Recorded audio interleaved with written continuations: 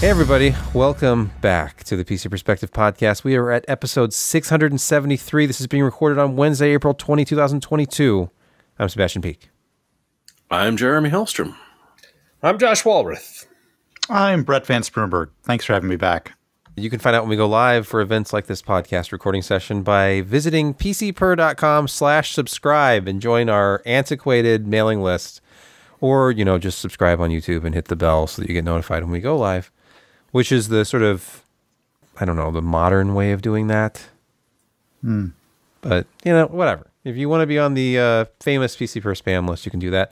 You can support us on Patreon and have your name read aloud. Should we do the burger segment, Josh, or no? We're going to skip it. I'll just quickly talk about it. You know, I screwed up. I screwed up. I didn't take a picture of the burger. I don't know why. I thought I did, but you know, 49 year old brain sometimes just doesn't hit on all cylinders. I, I put everything kind of together and I grab my phone and I think something happened at work and I, I don't know. But anyway, it was it was the Badger Burger, and I don't know why they call it the Badger Burger. No it was mushrooms. a single beef patty topped with Havarti cheese, tater tots, mac and cheese sauce, and jalapenos. And it was tasty. It was. I, w- I wish you could see it. It was, it was kind of, you know, messy. They did put uh, lettuce, tomato, onions on it, which kind of took away from some of the subtle flavors of the mac and cheese, the the mac and cheese sauce, and the uh, the Havarti. But you know, it was it was still very pleasant. It was a good experience. It, it filled me up. It filled me with joy. I was no longer hungry afterwards, and um, for a burger anymore, it wasn't that much. It was like ten bucks plus tax and then tip. So you can't get a good burger anymore for anything less than seemingly eleven bucks. Except like at In and Out, they they've kept prices somehow contained. I, I don't know how, but kudos to them. But anyway, yeah. Sorry for no picture. It was it was a little messy. It's a little fun. Now, Josh, there was actually another meal in your Twitter feed that I went and grabbed an image of, and I just couldn't believe that something like that existed. That was the What's the weird one I kept about it? referring- The what is this shot? It, it's literally a fried sloppy Joe because that's what a sloppy Joe is. Oh, well, oh yeah, I was- no, that's that's a grilled cheese sandwich with sloppy Joe meat. Yeah, so You're sloppy Joe us with cheese on bread. Yeah, Just sounds bread has to positively- Delicious. Of course I will. Yeah, that's a heart attack on a plate, but Yes. it's one I'm willing to take for the team. Thank you. I mean, I don't think I'd eat both of them. I think one. I think Would one be would enough. probably be enough. Yeah. Yeah. Our first news story this week the excitement surrounding the Ryzen 7 5800X 3D launch. It's like nothing we've ever seen. And the availability of this limited availability product is limited. Uh, currently out of stock at Newegg, out of stock, unavailable. That's actually what it says on Amazon.com. Though Newegg has added this little note this product is temporarily out of stock because of high demand. We will replenish it as soon as possible. Though you can buy it from Senitech, a third party seller with 74% positive feedback for just $589.99. Well, it wasn't, you know, okay, it was high demand, but it wasn't like exceptionally high demand because when they released it, it was still available four hours after release when I checked. And then later this afternoon is when they all went out of stock. So people were buying, but not at the previously seen, I'm going to throw my bots at it and get a bunch of them all at once. Yeah, it's Currently unavailable. I'm sure they sold hundreds of them, at least. At least. I was reading Charlie on this at Semi Accurate, and he was basically saying this is a product that you're going to sell for the price point of your previous product, the non 3D 5800X, but it costs you considerably more to make. So, how does this product make sense at this price point? It doesn't. My theory about this from the beginning was that it was there to take the gaming crown from Intel. They seeded it out to reviewers, and if you were fortunate enough to be selected, you had a review out on the 14th with these impressive gaming performance numbers. But if you actually benchmark this CPU across the board, it doesn't always beat the 5800X. which you know obviously has the same MSRP, but is currently selling for hundred dollars less. So unless you're playing in very low resolution uh, situations for a four hundred fifty dollar processor, then it doesn't really have the same edge. Like as we talked about last week, if you're playing even at 1080p high, suddenly it's like mm, maybe like two percent uh, better than the Intel offering, and then you go up to 1440, and it's just it's it's a wash at that point. So the one the one thing that we we don't really look a lot at is um, a lot of benchmarks looking at the you know one percent low, 0.01 percent low, and this apparently is an area where you do see some improvement. So you're not going to get a lot of faster frame rates, but you are going to have more consistent play because you're not going to have as large drops. Um, there are people who have seen, you know, 15 to 20% improvement in that, you know, low 1% uh, type range, which is pretty decent. And, uh, you know, if, if you're enjoying micro stutter, then, you know, don't get this CPU. Um, another area is like, uh, people have seen some pretty good uh, improvements in like Assetto Corsa Competizione because their physics engine runs at like 400 hertz and they have like tire wear, chassis deformation, tire deformation, surface, um, weight shifting, all of these things thrown together to get the most you know accurate kind of driving experience and they use uh, physics models from many of the major manufacturers that you know they've actually done testing on uh, for actual racing stuff. So in something like that even at like you know 1440 medium uh, they're seeing a tremendous increase in overall performance and uh, i guess in the 1.8 version they multi-threaded uh, the physics engine. So in corner cases like that, it seems like it's you know it's really the best processor out there. Um, but yeah, it would be nice to do a little bit more uh, uh, frame rating. Hold yeah, that. No, you're not wrong. That. I think that you would actually see something with that uh, specific type of benchmark where yeah, it's it's that 99th percentile is much much better. But overall, yeah, it's going to be hard to measure. Still a lot cheaper than buying yourself a better GPU. So better performance of 1440 medium is not the worst ever. But how does this compare to the 12900K? 12900K is what 530 560 about 530 okay. yeah the last time i looked okay so yeah, I mean, you're getting as good a performance for that much less, but you're going to be suffering in other applications where the higher hmm. clock speed and uh, more cores that they can throw at things uh, will kind of do better. It's certainly not faster single threaded. It's no. it's faster in certain circumstances when you can make use of more cores because it does have lower clocks than the 5800X non 3D. It's actually interesting. Uh, Charlie at Semi Accurate, um, I pulled up his review here because I was trying to remember this.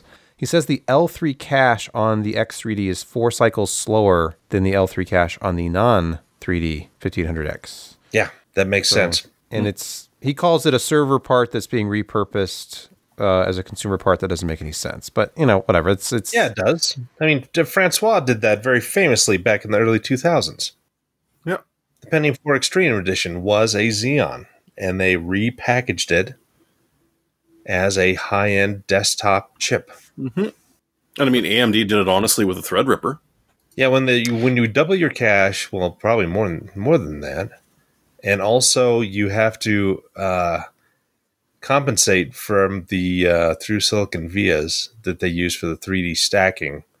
You're you're going to have to turn that latency up a little bit and so, yeah, four cycles is not going to kill you, especially when you're being able to address that much more cache that because you're going to be making fewer trips out to main memory.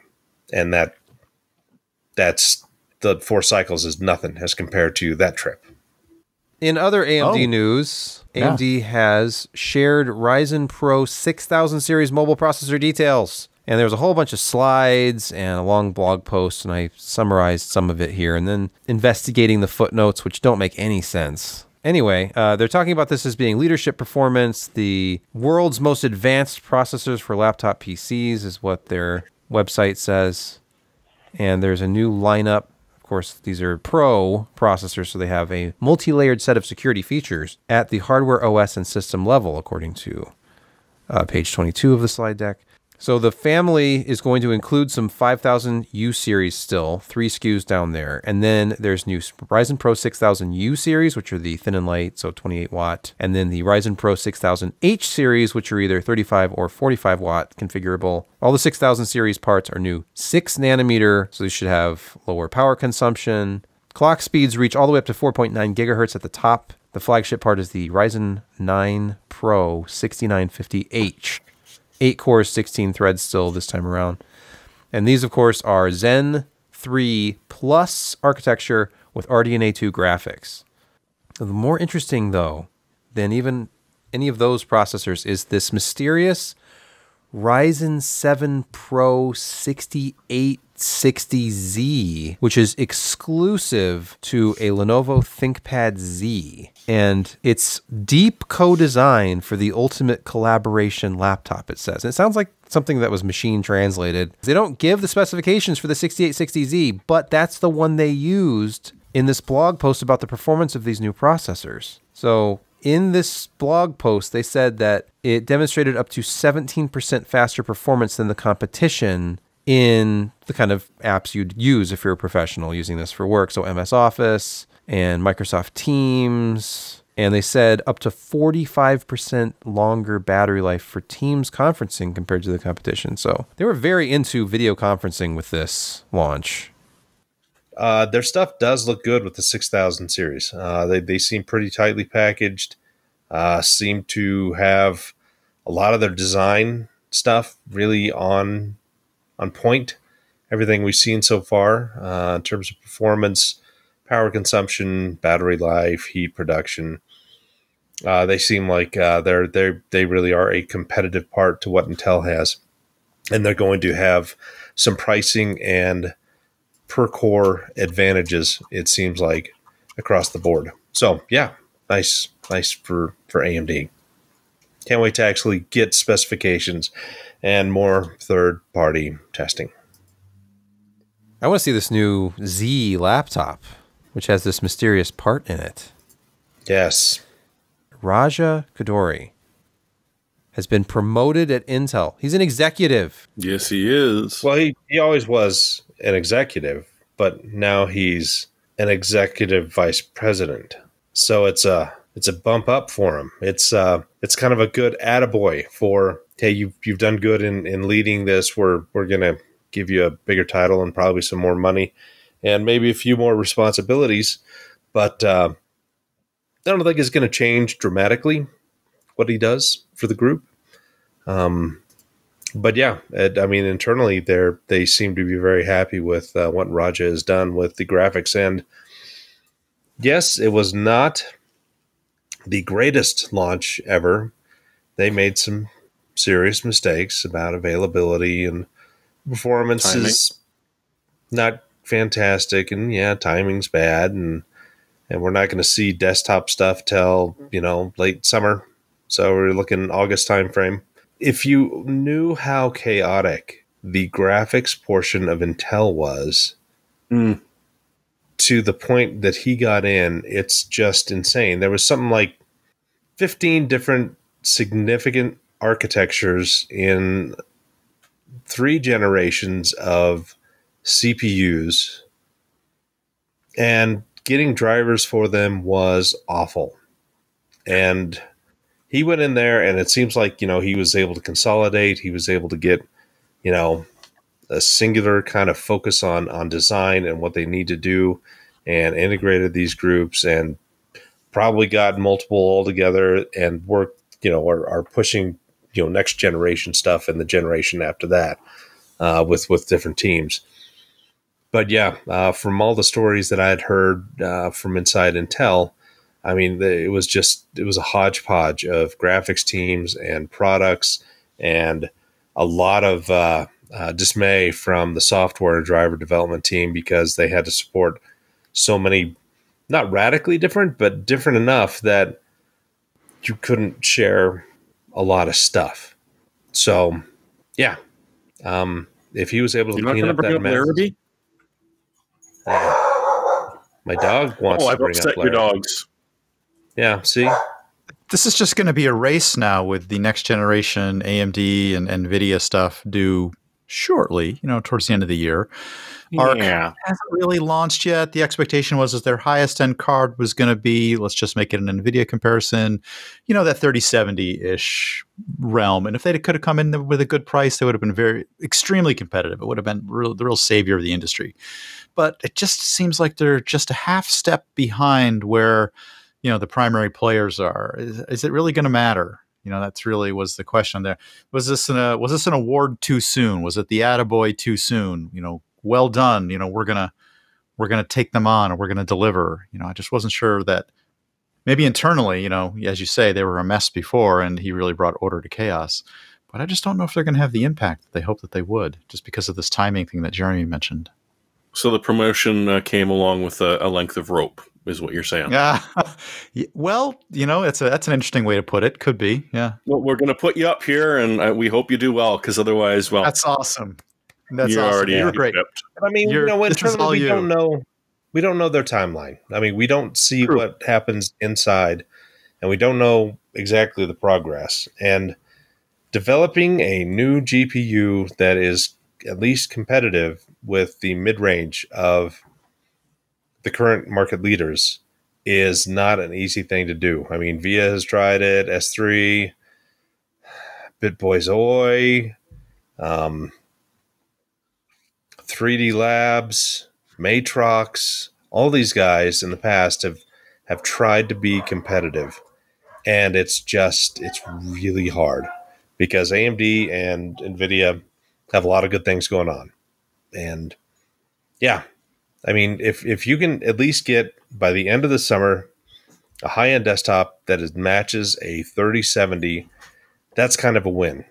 As long as you price it right, that's okay but we haven't gotten to that point yet, and we'll have to dive deep once we actually see these cards. And Ryan Shrout better send me one.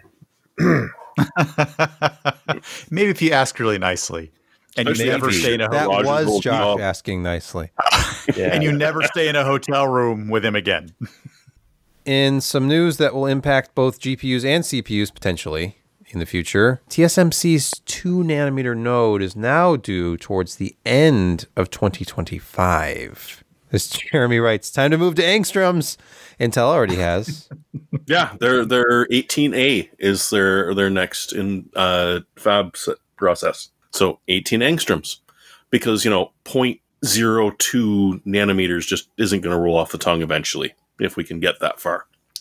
So yeah, technically it would be the two angstrom line from uh, TSMC, but uh, it's a little bit of a switch because for the longest time Intel kind of got stuck uh, doing a waltz around a certain process node and didn't seem to be able to land a good step at that process node, let alone move beyond it. And meanwhile, TSMC and Samsung are happily shrinking the process and shrinking it and shrinking it and shrinking it until now. It, it's actually looking like Intel may be doing their 18A line before the end of this year. Uh, now, not necessarily buyable by you and I, but uh, definitely starting to print it out and getting the, the fab process running and stamping out all of the uh, the bugs, hopefully. Uh, which means that you know it's going to be a little while before TSMC, who supplies the vast majority of the market right now at this node, anyways, or the, the, the small nodes, isn't going to be doing it until sometime in 2025, and that generally indicates that one they've either run into tooling problems or they've run into technical problems with the wafers, or they're just making so much money at the current node that they're like, you know what, it's we're we're going to work on that, but it's it's less of an issue than just filling up this obscene amount of demand that's been pent up that we can deal with. So it'll be interesting to see if Intel can actually pull this off. It'll be the long. It's been a long time uh, since they've sort of been ahead on the process nodes. Josh probably even remembers when that was. Intel is, is talking a big talk with the whole 18A uh, being, you know, kind of available when it is. And yes, TSMC has pushed out two nanometer, which you know supposedly comparable, but we've we've now gone to really extreme marketing uh, names for these things, and I think in the very end, they're still going to be limited by physics and lithography. Uh, EUV stuff is coming out, and it is an improvement and you're going to require fewer masks and exposures and stuff like that, but it's still a very new technology. Um, and yeah, just playing the physics of materials and deposition and yields and and getting bins and and just all of these things together it's a lot and i i i mean it's you know it, it'd be nice to be optimistic that Intel is going to have a product that is leaps and bounds and, you know, a generation past what the third party guys and AMD has. But we've really entered a new realm of, of manufacturing that, you know, TSMC is spending a significant amount of money uh, in research and development, and they've got a lot of fabs, they've got a lot of engineers. Samsung is behind them Global Foundries is is there they seemingly are running to standstill. They finally made profit with Global Foundries in the last couple of quarters, but they did that by really just cutting their their development of seven nanometer and beyond into very very very low levels and just focusing on kind of the 70% of the market that requires these you know 12 nanometer 14 nanometer 20 nanometer, 28 nanometer stuff that you know are still very very viable um, lines. But I'm not entirely convinced that Intel has gotten over all of its issues. 10 nanometer seems to be okay for them. Uh, it has not reached the 14 nanometer kind of plateau for you know how expensive per chip it is to you know process the entire thing. Uh, it's it's a lower level they they seemingly have gotten you know some of the power and yield issues down but if you know if you run a 12900 k i mean you're still pulling a tremendous amount of, of power in that. And uh, it's not perfect but I, I don't have the faith yet in intel delivering just because they've been seriously since 2014, back when, and even a little bit before that, 22 nanometer had some issues, uh, but not too bad. They were able to fix them. 14 nanometer had some significant issues for quite a while, and then we got the 14 nanometer plus, plus, plus, plus, plus, plus, plus, plus, plus, and then all of the very, very, very familiar issues with 10 nanometer that essentially went on for about six years, so yeah, I I I'm not sold yet. Um, I mean, TSMC's already got their six nanometer out. They're doing heavy duty production on five nanometer. Next generation stuff from AMD is going to be five nanometer. I'm I'm assuming. Um, I can't remember what the 4000 series is. It supposed to be six nanometer from TSMC? I can't keep all my rumors. No, it's four, I think. No, that's that's no? not quite ready yet. Apple isn't even on four yet. Apple is is the first people to typically utilize TSMC's most cutting edge uh, process node. So yeah, I think a lot of stuff's going to be five and six nanometer, and you know, six nanometer is a optimized, slightly shrunk version of seven, and five is a a new product. So yeah, I don't know uh, you know, put your money where your mouth is, see who's actually producing the chips and uh, selling them. And it's going to be fun to watch. You know, I wish Intel the best of luck. If they do it, then kudos to them. That's really impressive engineering and development to get a process, a new process, a cutting edge one up and running in that kind of time. So, anyway, that's my two cents. Thank you, Josh. And I thought Intel was actually going to be a little bit more open to using other foundries. So it's not just mm-hmm. can they get this process working. It's well, who will they partner with if they can't? Mm-hmm. Mm-hmm. Well, yeah, their uh, their graphics cards are, I guess they are, either six or seven nanometer from TSMC.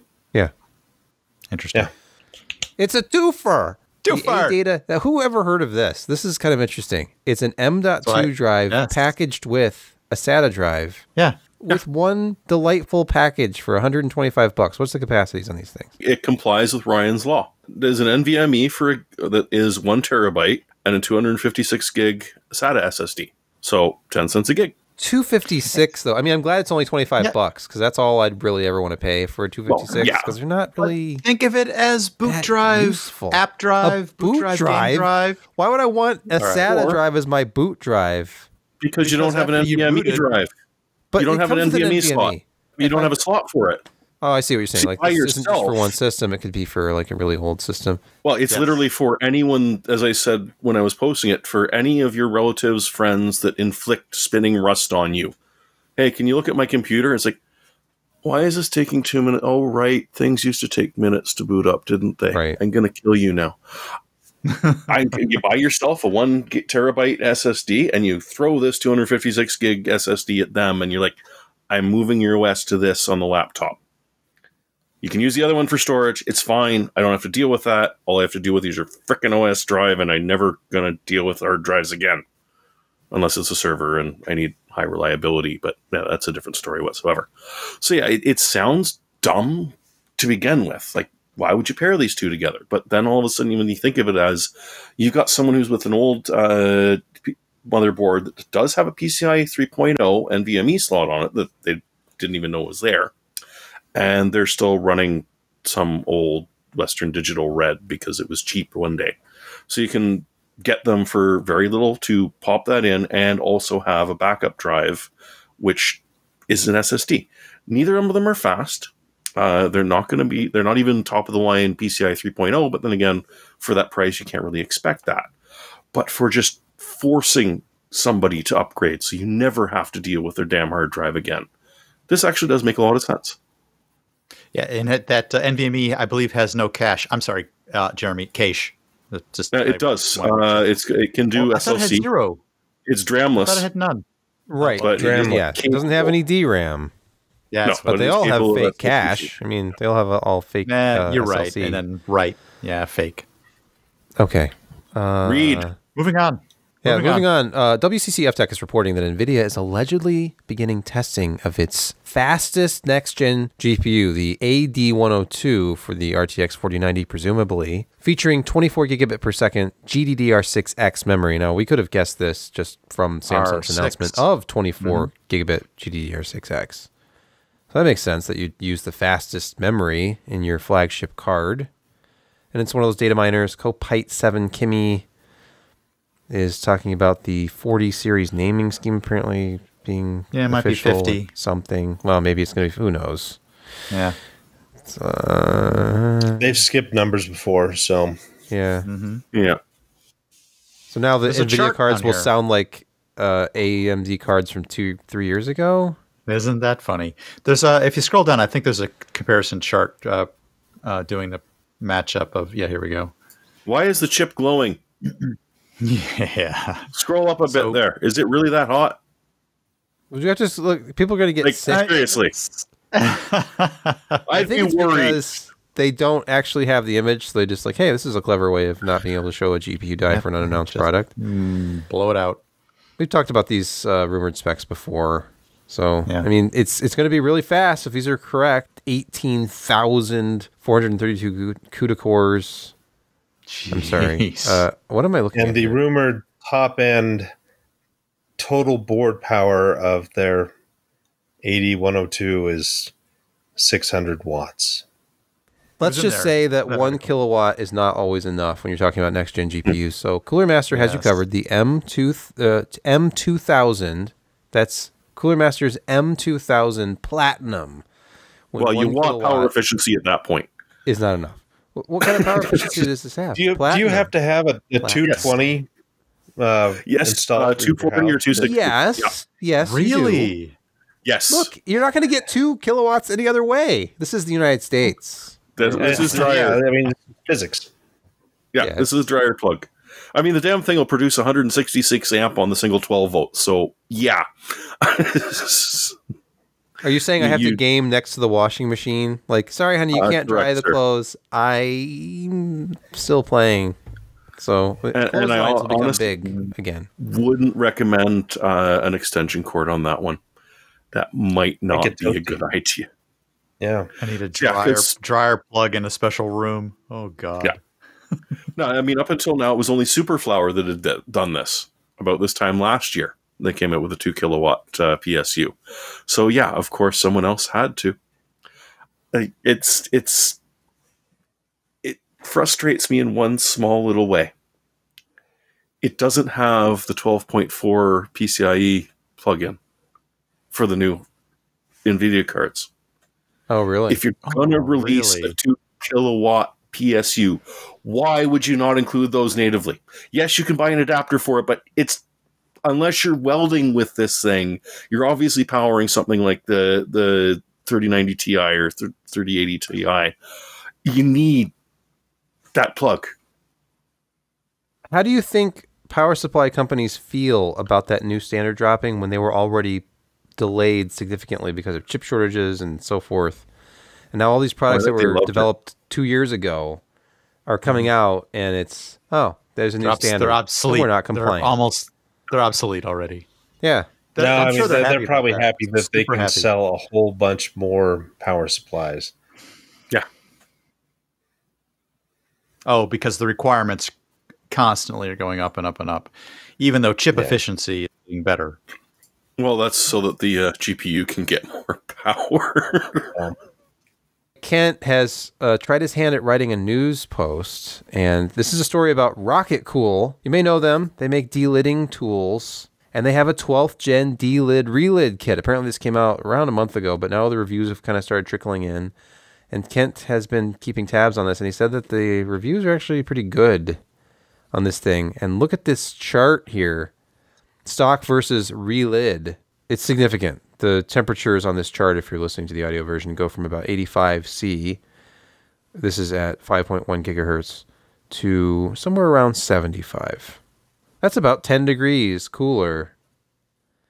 And he said, in case you're wondering, yes, this mod will absolutely void your warranty, and Ryan Shrout might just come directly to your house and slap you, although we have not received full confirmation from Intel about the latter point. Mm-hmm.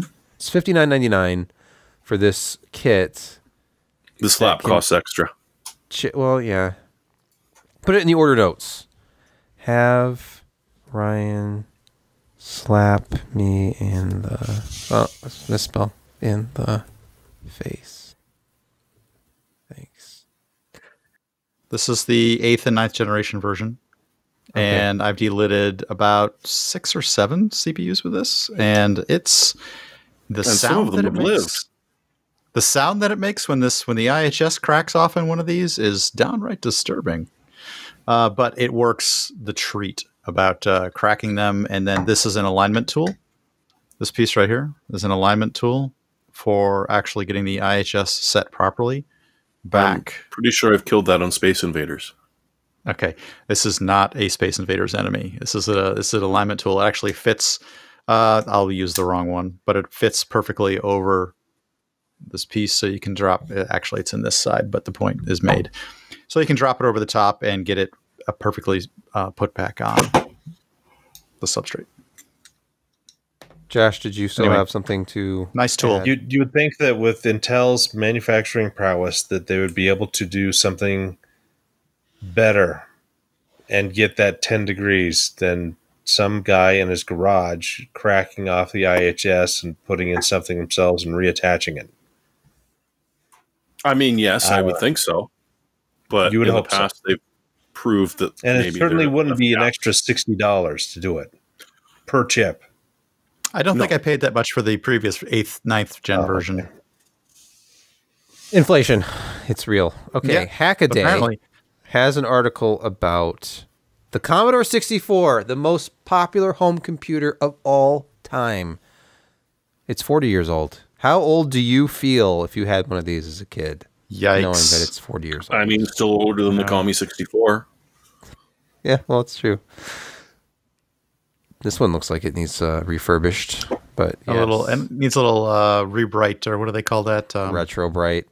retro bright. We don't. We don't have. do we need to have a discussion about retro bright here? You No. know, actually, that would be sort of fun. A retro bright. No, we- we're running long I, anyway. I put a picture.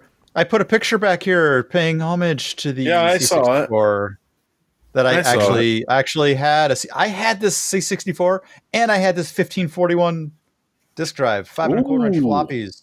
I know I actually had it serial serial external five and a quarter inch floppy drive, single sided. At a mere weighing in at a mere twenty some pounds. essentially it was another computer wrapped around a floppy drive and, and a serial port that went between the, the systems it was so much faster than cassette i thought it, it was the best thing ever Let's pause here for a word from our podcast sponsor this week. Hey, as a small business owner, you're juggling 100 balls in the air and you don't have time to interview candidates who just aren't qualified for your role. LinkedIn Jobs makes that easier for you to find the people you want to interview faster and for free. I know that LinkedIn Jobs has worked for me in the past and connected me with qualified people and hiring organizations, and it can help you too. Create a free job post in minutes on LinkedIn Jobs to reach your network and beyond to the world's largest professional network of over 770 million people. Then add your job and the purple hashtag hiring frame to your LinkedIn profile to spread the word that you're hiring so that your network can help you find the right people to hire. Simple tools like screening questions make it easier to focus on candidates with just the right skills and experience so you can quickly prioritize who you'd like to interview and then hire. It's why small businesses rate LinkedIn jobs number one in delivering quality hires versus leading competitors. LinkedIn jobs helps you find the candidates you want to talk to faster. Did you know that every week nearly 40 million job seekers visit LinkedIn? Post your job for free at linkedin.com slash pcper. That's linkedin.com slash pcper to post your job for free. Terms and conditions apply. We're back and we're gonna crank up this Playdate. I'm feeling a little bit cranky just looking at this hipster contraption. Who can tell me about Playdate, which is apparently now in people's hands finally? I didn't understand this. I don't, under- I don't understand. Jeremy explained this to me. So the crank is a controller. Okay, it's not how you charge it. See, now that was the assumption, and it made a lot of sense. But no, it's it's it's mostly a controller. So this is for playing fishing games. I I don't actually know. It launched with 24 games. I do not know if one of them was a fishing game because I didn't pre-order it. But uh, I mean, you will be amused. Uh, the screen itself is a memory display with really really high contrast. They put it next to like a Game Boy, and it's it's ridiculous. You can see it in bright sunlight, like say the picture that was being taken right there. Mhm. So Yeah. you don't have to buy the extra little light for it and the screen is about the same size as a Game Boy, uh, so it, it gives you sort of an idea. Uh, I don't get it. Like it's 180 bucks for some silly little games, uh, but it's it, like a lot of people were really really excited about it and the whole you know Game Boy D-pad and A and B button. But then I started reading and I'm like, okay, you know, I, I've this is really popular, so I should probably mention it, and it is odd, so at least I want to know. And then oh no, there, there was this, an SDK released with it. So there are people like busily trying to mod Doom over to this thing. And apparently the, the creators of, of Play Date don't care. They're like, no, we gave you the SDK kit because we want to see what the hell you can do. And so, I mean, it might become interesting, but at the same time, I just, I don't do the mobile gaming much. You know, the sort of handheld or the phone or anything. Don't know if I'd describe what this does as mobile gaming, so you don't have to. Well, you definitely are mobile with it. I will leave you with this image. Uh, this is the kind of fiddly, weird nonsense that some people find amusing. It's like I'm holding this tiny device with this even tinier Hey, imagine how easy Flappy Birds with would my be. fingertip. And look, Flappy it's, it's Bird glorious so black easy. and white. And who who needs that color crap anyway? But then again, if I'm using a Game Boy, I'm probably playing classic Game Boy games like you know Tetris and Pokemon, not uh, stick guy runs across screen while I crank furiously. Uh, hot hot YouTube take. That's like a hacker. You can't crank furiously in public, or else you'll get. I don't, I wouldn't be able to crank furiously with this thing because I, my hands would both be oh. busy operating the damn thing. That, so. And that was mentioned is that in there's a few of the games where you have to crank madly, and they didn't like it because they had to essentially put it down on something so you could do that. Some of them it's more of a gentle cranking motion. You know, you you can't just yank it all the time. Occasionally, you have to move yeah. it slowly and rotate it nicely. Yeah, uh, yeah. Somebody says odd. I don't somebody, get it, but somebody in the chat, the YouTube chat, says Dreamcast memory card. LOL. Yeah, it's like one of those VMUs. And, oh no, there is the no memory thing. card slot. There, there is no is removable memory on this at all. Oh, of course not. The all you need to know the height of the pretentious nature of this device. It has a little text bubble that pops up. It's 25 minutes past noon on Wednesday, July 21st. Like the, the way it spells out. I don't know. I just uh, I find this can't even tell you the time.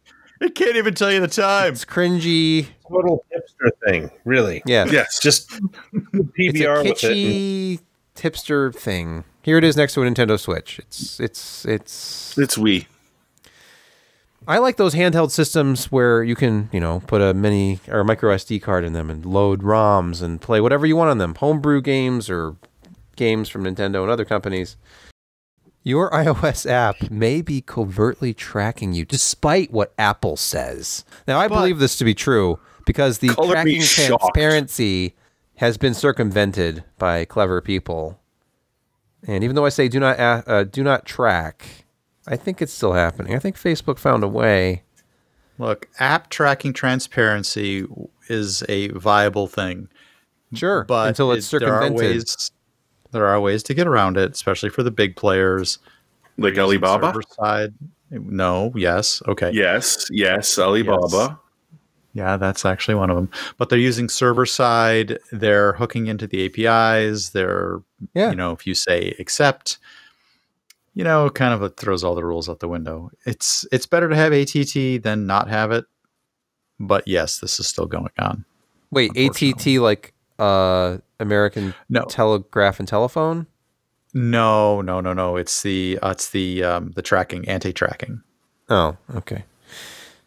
So last week's research paper says this article at some website, I think it's ours or something from the font, says that while ATT in many ways works as intended, loopholes in the framework also provided the opportunity for companies, particularly large ones like Google and Facebook, to work around the protections and stockpile even more data. And ATT may give users a false sense of security. Of course it does. What happens on your iPhone stays on your iPhone until we start, you know, scanning your photos. We do have a story from the register, as always, uh, about ESET. I like their snark. ESET. They uncovered vulnerabilities in Lenovo laptops. Oh no, say it ain't so. Firmware updates incoming. Please tell us more. Yeah, how'd that go, Brett? I just did them. I and it was it took like an hour and a half to patch the uh, Intel manager and the BIOS, and there was an NVMe driver, and I feel so much safer now. I'm I'm sure there's no other bugs. I'm sure it's fine. There'll never be it's never there'll never be a problem again. I feel safe. It's all good. You should feel safe.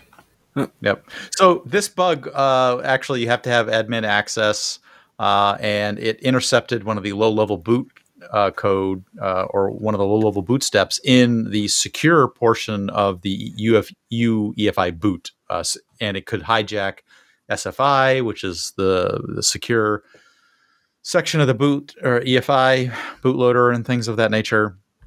So yeah, anti-security once again, and it basically allowed uh, bad actors to entirely own the machine.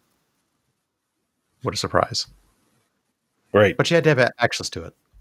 While we're on the subject of security, let's talk oh, about oh, yes. Log4j again, because apparently AWS's Log4j patches blew holes in its own security. Yep, cell phone on this one. Jeremy, you know about this one?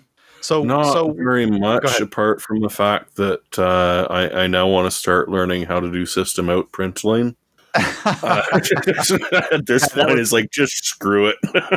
that was that was a joke graphic that sort of accompanied this. You got to go find that one. But anyway, this one was sort of embarrassing. The eh, eh, but you got to hand it to them. They tried to fix things as fast as they could. So what they did is they tried to identify the processes running as Java and they patched things uh, as it was running. So it was a runtime patch in order to uh, subvert the calls to the problematic logging function that would have caused a remote code ingestion and then you know obviously remote code execution but what they didn't do is make sure that the executable that they were patching was actually java because they looked for it by name so if you had an executable i believe this is what it was if you had an executable that would that would fake the the process name of java you could have it elevated it could because that was part of the the aws patch was to elevate the the process to root level and uh, then change it. Well, that would, could elevate your process named conveniently Java to have uh, super root or, and root permissions, and then do anything you wanted with your code, just because you named it appropriately.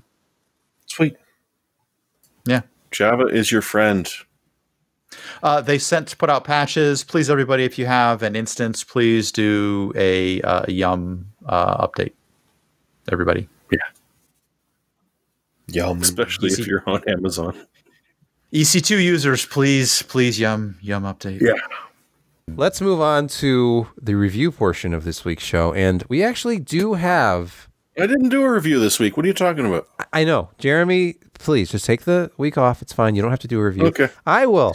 The so called editor in chief of the site should post a review once in a while. And I posted a review of this tiny little beast right here, which has been sitting next to me the entire show. And yes, inside of this is one of those ultra rare, sold out everywhere Ryzen 7 5800X 3D processors.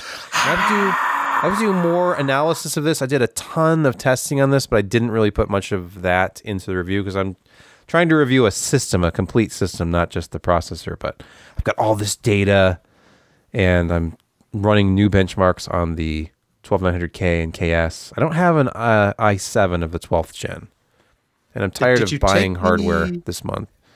Did you take the 5800X 3D out of the chassis and pop it into your, one of your boards for a? no, know, I have not yet. I've not done that. Okay, you wouldn't admit that anyway, would you? All right, so we looked at the Falcon Northwest Tiki. This is the 2022 version of the Tiki, and I will talk about why that matters here in a minute. But of course, our sample featured AMD's new greatest gaming processor of, of all time, the Ryzen 7 5800X3D. And this system, if you're not familiar with the Tiki, it's about the size, I would say, for the DIY enthusiasts in the audience, if you have ever held in your hand one of those giant motherboard boxes that the high end Asus ROG motherboards come in, they're like 4 mm. inches thick, like 12 or 13 inches square. That is what, that's the exact size of this system. It's four inches wide and it is 13 by 13 inches roughly. I mean, the dimensions are a little bit bigger than that when you factor in the base. There's this very heavy, solid aluminum base on it to keep it stable on your desktop. And then, you know, there's like protrusions and, you know, the front make it like, I don't know, it's closer to 14 inches deep, I guess. But anyhow, this thing is small. It's very small, and there's no compromises on components, especially with the new design and we will talk about that because, and here's a picture of it so you can see it in some better lighting. Nice. It's hard. It's hard to gauge scale with this when you take pictures of it because of the the fact that it's a tower. Oh, it looks like a full tower from back in the day, but it's it's like a tiny version of a full tower. Anyway, um, here's the inside so you get an idea of how everything fits in there. And this is similar to, uh, I think it was called the Sentry 2.0 was a console sized case is what they called it. So the internal layout is similar to that, except this one is big enough that it can fit a full length GPU along with a 120 millimeter closed loop liquid cooler and there's enough clearance for everything to fit and for there to be adequate airflow because of how ventilated the case is. So this has that kind of a mm, tiered how, design. How big is that power supply? It's an SFX-L, and they went all out with this build. I mean, this was meant to showcase not only AMD's new processor, but what you can do with the Tiki. And so it's a RTX 3080 Ti. You can configure one of these with a 3090 if you wish but the power supply is that ridiculously dense uh, unit from Silverstone. It's a 1,000 watt SFXL power supply. Wolf. And uh, is yeah. that an SSD uh, holder? Yes, in this right picture, in which is the sort of the stock picture that I used to illustrate huh. this, you can put either a hard drive or up to two SSDs side by side oh, on nice. this uh, front bracket. Ah, but no optical drive, eh? No optical drive. There used to be an optical drive slot yeah. in the top of the Tiki, but that is gone because it's all about airflow. Here are a couple of still images from this. I wanted to use the the GIF, but it was a 10 megabyte file. I'm like, I don't want to recompress this and make it look terrible. So here are a couple of relevant stills you can see how the airflow with the axial uh, style GPUs works because there's a lot of um, airflow that can escape the top. It's basically all uh, ventilated up there. And then it's also designed for that pass through style cooling that you need for the Founders Edition NVIDIA cards. So it works with both and it works great. I'll get into the thermals later. I have a little chart but it's a new for 2022 design that's all about airflow. There is perforations, there's ventilation all over. If you look at the left side, you'll see the giant intakes for your GPU. There's a big intake for the SFXL power supply and another intake uh, behind the motherboard tray. Apparently, it comes in the back, moves all around, and there's perf- there's um more of these vents on the other side. This is specifically there because of those NVIDIA cards because you need the air to pass through. They should so sell magnetic uh, air filters that you can just attach to the side of that. Like just a, yeah, a slap-on filter that covers the side of it. Yeah, I forgot to talk about that because there there are no. I mean, there's kind of if you look at it, it's not just wide open because you have like this mesh in here, but you would need to periodically vacuum this off. But the, the other ones didn't look filtered. They, they had like there's nothing there. no. Just, well, some yeah. people hate it, but just like an add-on to pop, magnetically snaps on and it'd be yeah, brilliant. magnetic uh, magnetic filter would be nice. There, space is at such a premium inside of this thing because it's so small that I wonder if there would even be a because if you wanted the filter to be convenient and have a frame around it and be easy to take out, you'd be and taking out the, the motherboard to get the filter out of there. It would be a mess. Even gauze, even gauze frames need like a, a plastic a support, or else yeah. they just sort of deteriorate. Here's a look at the back, and as you can see, the back also pretty much just open. So think of this as you know, it's it's about as wide open as you can get for something in this form factor, and because it's so well ventilated, it performs almost as if it was an open test bed. Because there's nothing really impairing the airflow of any of the components inside. But uh, here's our test system uh, with the door open, and you can see that there's a 120 millimeter Asetek uh, unit down there to cool the 5800X3D, which, by the way, was very well behaved thermally throughout all testing with this thing. So, I'm impressed. I've got a 5800X uh, on a 360, and it still gets fairly hot under load. Well, that's the magic of the 5800X3D because it is limited in a way that the 5800X is not. So it is better ah. behaved thermally than the 5800X is. Because this one's not going point. up to 1.45 volts. It's limited to 1.35 mm. or hmm. less. Interesting. So even mm. though there's that, you know, huge L3 cache layer, it's still, at least in my experience so far, better behaved. So uh, the specs of this system, and I'll get into just a list here. It's uh, Asus ROG Strix B550i gaming motherboard and 64 gigabytes of Kingston Fury Renegade RGB DDR4 3600 CL18 memory. So it's dual rank, big 32 gigabyte modules.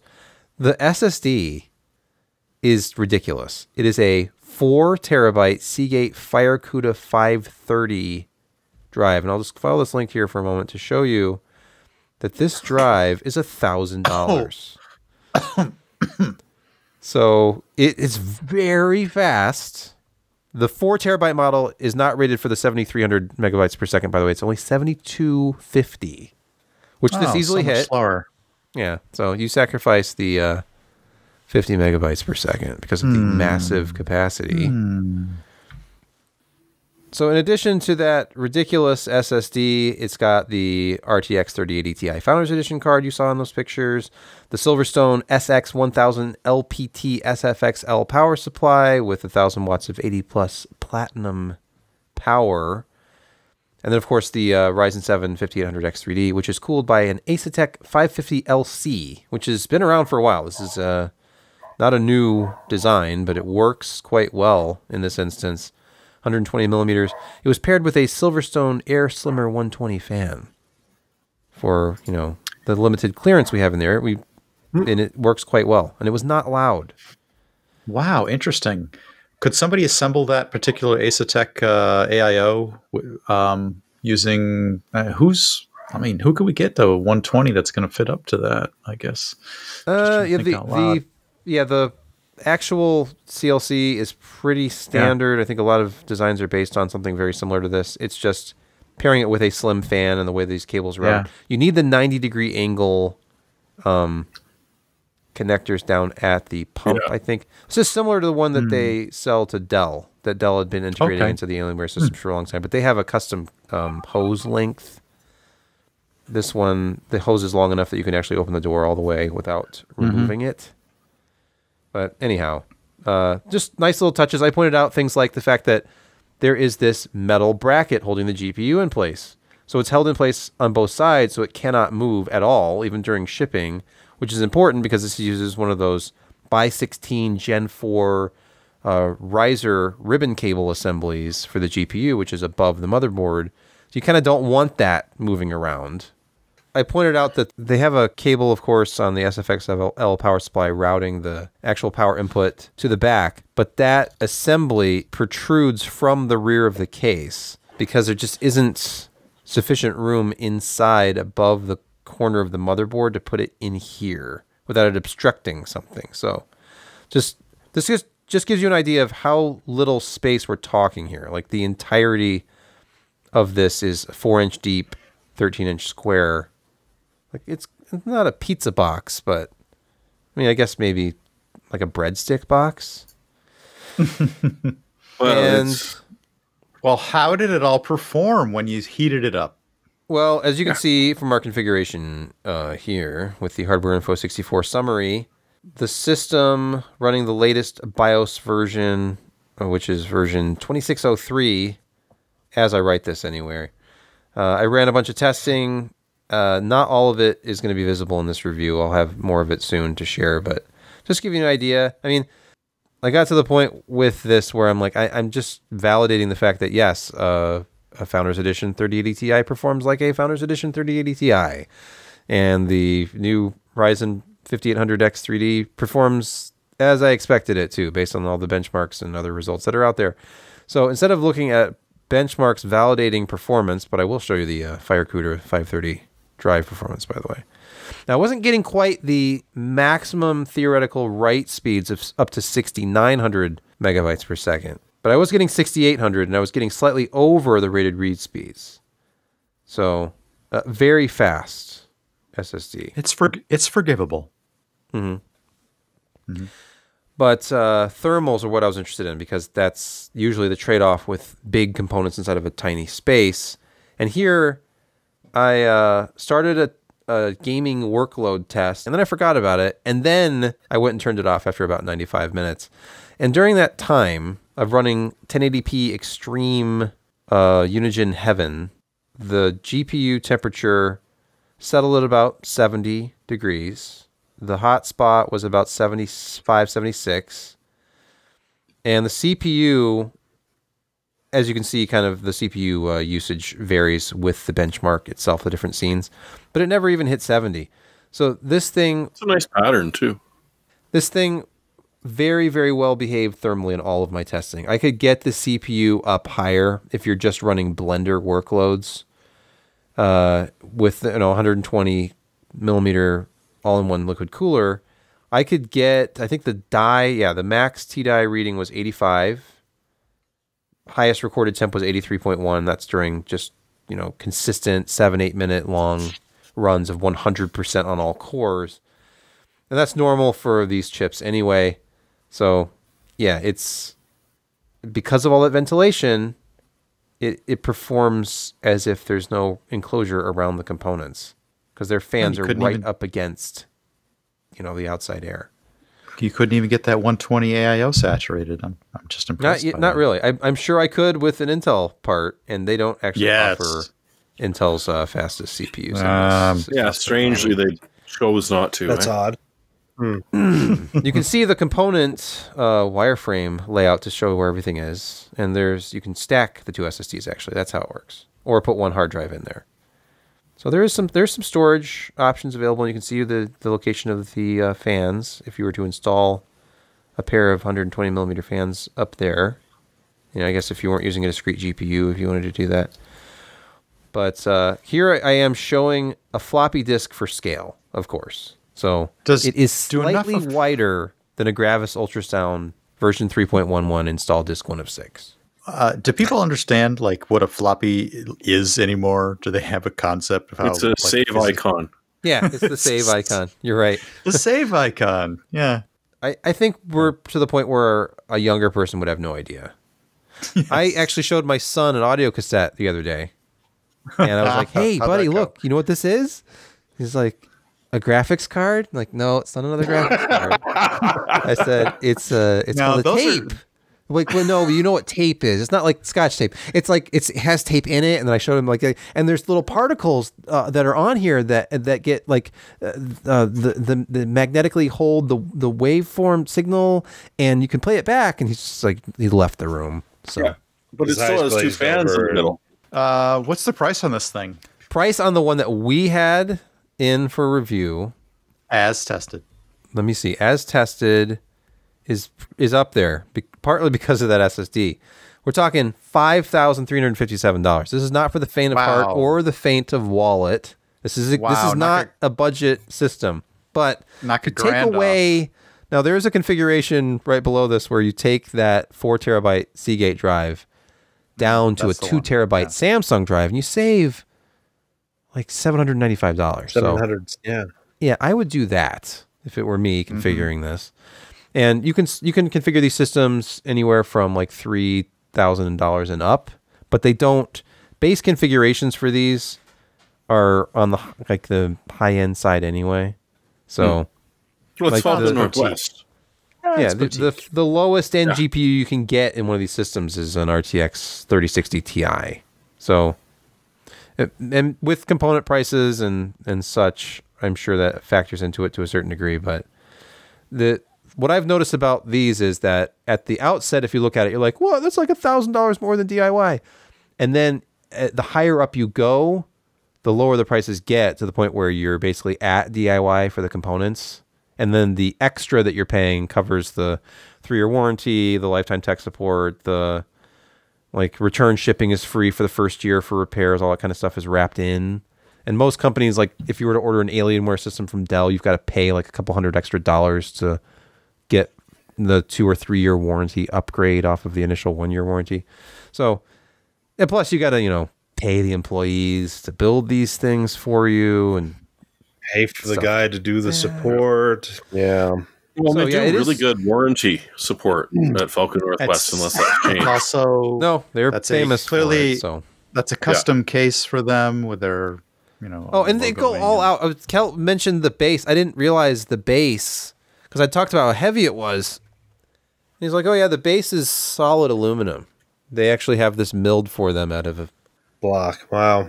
Like you know, it didn't have to be aluminum. I didn't even know it was aluminum but it's aluminum. So it this just some of the choices that have been made in here are made because of wanting to make this have like a superior fit and finish and a particular look and the way that the cables are routed and everything else with these systems is like a, a step above what most people are even going to be able to do themselves. So you just have to factor all that in. It's time for picks okay. It is. Josh, Still take it away. Me. Uh, I, I, I, I've been keeping track of these for the past five days, and in the last three days, the cards have gone down. Well, five days, they've gone from 900 to 650 to 599, and now this ASRock RX 6700 XT is now only $50 more over MSRP for the Ooh. card. That's finally at the point where you know what it probably is worth it to get one because here's the big deal. Yes, we have the 6750s coming out, I believe. Um, but China's been locked down for the past couple of weeks, and everything is going to come crawling to a stop in terms of what's in the channel in probably around six weeks. So you got to weigh with yourself should I buy it now with the chance of it, you know, going a little lower, at least, you know, heading towards MSRP, maybe at $500 max? Or do I run the risk of suddenly there's just no more supply anymore because of all the crazy things going on in this world? I mean, if you look at the shipping outside of Shanghai uh, in the harbor, it's insane. There are so many boats waiting to be unloaded and loaded up. It's it's not funny. So if I were really looking for a well a new mid range card in the five hundred dollar level, this this would probably be one of my first choices because performance is good, thermals are okay. It does run at high clock speed, which is kind of interesting in in certain aspects of how it does the uh, the cache on board. Um, so yeah, this would be my pick, and ASRock makes a reasonable board. There you go. Huzzah! Only fifty dollars over MSRP. It's like only a, like a ten ish percent premium. Impressive. Yeah, yeah. yeah. It's, it's a lovely thing. May the next deal actually bring it down to MSRP. Well, Josh's point here is the window of opportunity to potentially buy at only a slightly insulting price. It it could potentially be limited due to uh, lack of supply coming out of China. Mm-hmm. Yeah. So we think the bubble burst, but then there could be another another another artificial squeeze. I'm sorry. It's not, yeah, it's not artificial I, when the stuff is. I did that too. Container let, me, and, yeah. let me get underneath there. Yeah, squeeze.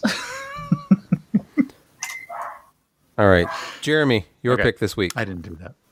Uh, well, how about a reasonable PSU for a reasonable price? Because we don't all need two kilowatt buddy power supplies. So 650 watt will run a lot of things. And so this is a Canadian deal, but uh, and it's not the newest from Corsair, but their CXM uh, systems or PSUs have been really good in the past. And so a 650 watt uh, partially modular, which is nice because are you ever going to build a system where you don't need your ATX power connector? Like it's it's it's a thing. It's going to be needed, and as we've gone over exhaustively over the past years, adding a connector adds resistance. It will lessen your power delivery. So how about you know a 650 watt PSU for half price? 60 bucks is not bad at all for this thing. Or, I mean, if you wanted to do the open box, you can get it for 53. But uh, yeah, it's it's not the sexiest of components, but if you've got a bad power supply, you, your life's going to be a nightmare until you figure it out. And those are Canadian dollars, so here stateside. Yeah, I don't know what it is down in the states, but it's even less, significantly less. That's Canuckistan Kopecks. Brett, your pick this week. My pick this week is the Corsair K- K70 TKL, which is my personal choice of gaming keyboard. I really enjoy the linear switches in this one, and it is a very, very high speed, low latency keyboard and incorporates Corsair's AXON uh, real time operating system, uh, fully RGB programmable if you kind of swing that way. Um, it's a great keyboard, and this is roughly 30 to $50 off, depending on where you set your your pricing metric.